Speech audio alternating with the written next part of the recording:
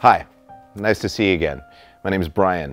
You know, so many things that we do here are supposed to be pretty fantastic, but it's really the mundane that matters the most. And that's why when we think of what is dramatic, we think, uh, you know, explosions uh, or monsters or someone getting murdered. Um, but in this particular case, I want to focus on the mundane. So here we go.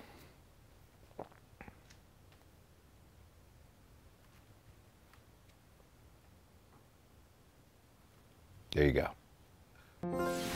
Life. It just keeps happening.